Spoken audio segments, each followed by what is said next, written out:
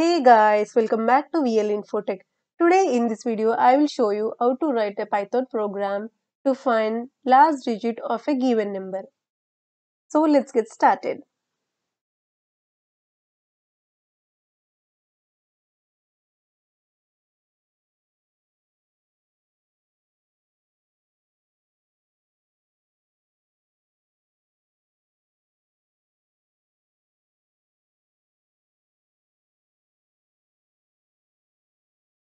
Yeah, we are done.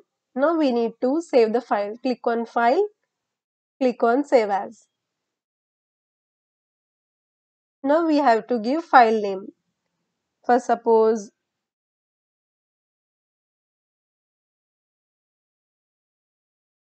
digit last dot py.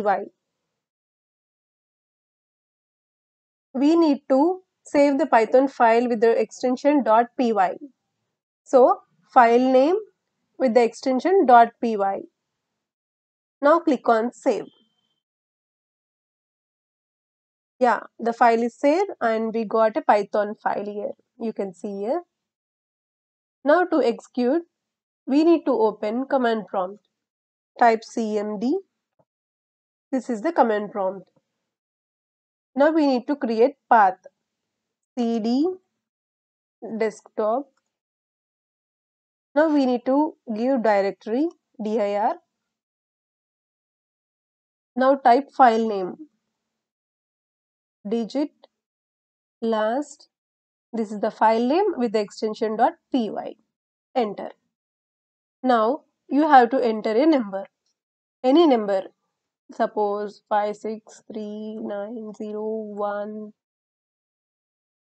3 yeah. Enter see we are getting the last digit 3 as output.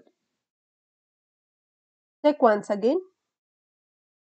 Digit last dpy enter.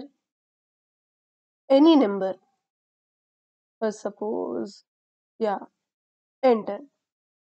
See we are getting the last digit as a 9 this is the output.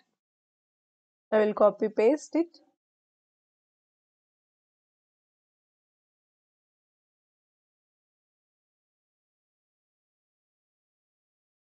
Yeah, I will explain the code. This line of code is used to enter a number by the user. Then after that, this n modulus 10, it will give the remainder of the number. So, n means given number. Modulus 10. So, it will give remainder. This print is used to print the result of this. That's what we are getting. 3 as a print statement, we are getting output as last number 3. In this way, we need to write a program to find last digit of a given number. That's it for today's video. If you like this video, please like, share and subscribe to my channel. I will see you in the next video. Until then, keep coding.